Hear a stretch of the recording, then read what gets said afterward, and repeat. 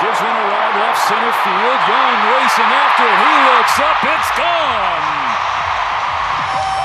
First of the year for Kike. 4-2 Dodgers. Not just the first home run, but the